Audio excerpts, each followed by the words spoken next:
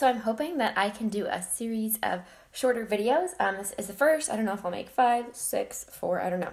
Um, but this is all about our botanical foundation. Um, these are two main ways you can get it are by itself or in this little palette. Um, I'm going to try to just use my foundation and then see if I need to add more concealer from there. Um, you can also get it in various collections. I have eye products and lip products along with it. Um, but yeah, we're going to get started. So um, you can either use a Blenderful. This is our Blenderful. Um, it's a beauty blender, um, latex free. And basically, it's like super duper squishy, super soft. Um, it has a pointed edge, has a flat edge, has a rounded side, and like, I don't know, a less rounded side. And then it has this mesh case that you get it with. Hello, mother. and then um, the other way that you can do it is with a brush. And so you can do it with kind of depending on whatever preference you like. This is more of a a stippling, like blending brush. Um, otherwise, if you want to try to use like a softer brush, you can do that too. Um, the main thing you need to know is the foundation is wax based, so it needs to be warmed up a little bit in order to spread more easily. And so that's why when you twist this in there or rub your brush in there, you get a little friction. So I'm gonna do half on one side of my face and half on the other side of my face. Who are you with, mom? so I did kind of like a couple half twists and because I'm running lower, obviously I love this foundation. Um, I didn't get any in the middle, but we should be good. So I'm just press, press, pressing into the skin.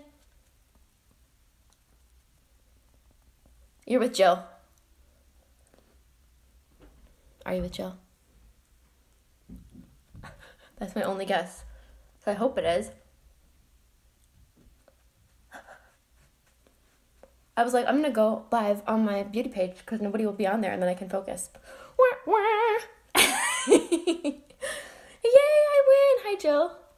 That's hilarious. I'm like, oh my goodness, it better be Jill because no one else is coming to my mind and I would feel so guilty. Yay, I win. So press, press, press.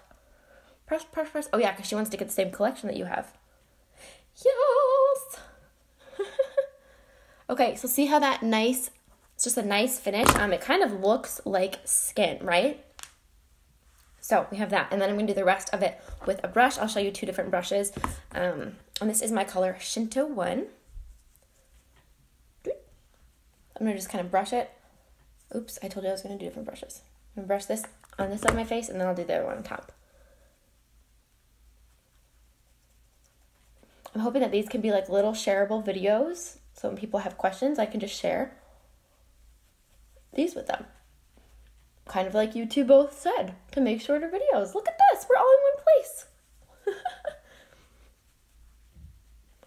so that's the finish with this brush. And this is our, what is this brush? I don't know, brush number five.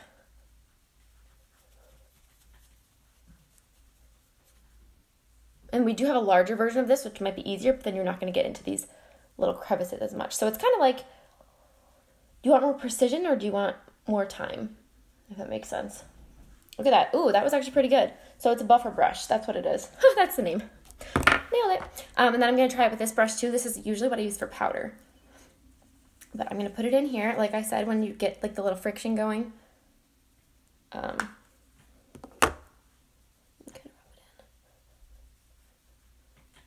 Yoo-hoo! That reminds me of um what is it? And Frozen, where the guy is like in the hot tub. He's like, yoo-hoo! That's such a silly part of the movie, but that's what it reminds me of. Okay, so look at that beautiful, blah, blah, blah, beautiful flawless finish, right? So it just looks like skin, feels like skin. It's pretty freaking bomb. Um, like I said, 50% pigmented. I think. Did I say that? So basically, a little bit goes a long way, and it lasts you a really long time because you don't hardly need anything. Like you saw, there was like nothing on this brush. So that is the end of this video. I'm gonna keep making more videos, so I'll see you guys soon. Thanks for watching. If you have questions about this foundation, please leave a comment below. Um, I do suggest um, priming with our first base makeup primer. I did that before the video.